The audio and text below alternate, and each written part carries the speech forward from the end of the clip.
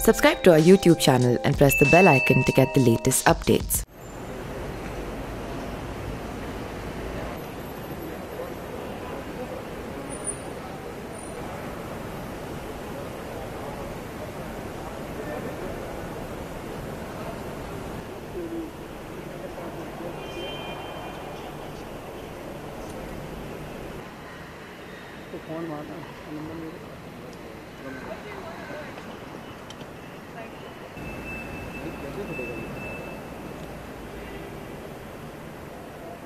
After a long time, lockdown has opened and the air flights are just going to take off.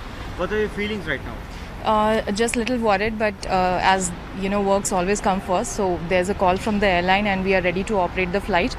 Um, we'll make sure that take care of ourselves, and the airline is taking care of us very well. They are taking out the you know uh, circulars and communication for us, and we'll take care of uh, ourselves and just make sure the passenger reach on time to their bases and the stations. Ma'am, uh, what, are, what are the precautionary measures you are taking on this?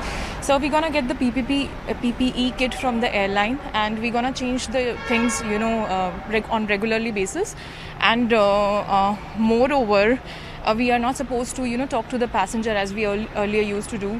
And uh, no doubt, if there is any medical situation, we are ready to, you know, uh, be with the passenger. But when it comes to uh, like a little, little small, small things, just we make sure we take care of ourselves and the passenger as well.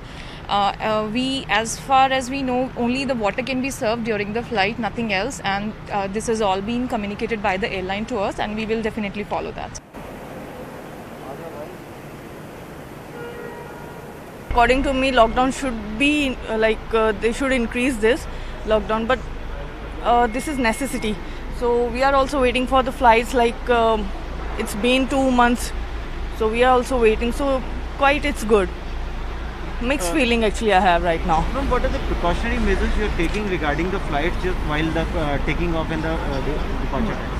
Uh, actually that's uh, upon to the airline to airline that's vary because uh, like they are sanitizing uh, every aircraft they are sanitizing every aircraft and uh, they are providing hazmat suit to the crew and less communication with the passenger and uh, less uh, there's no service there's no service meal service. They are only giving boxes uh, to the passengers. So these are the precautions we are taking now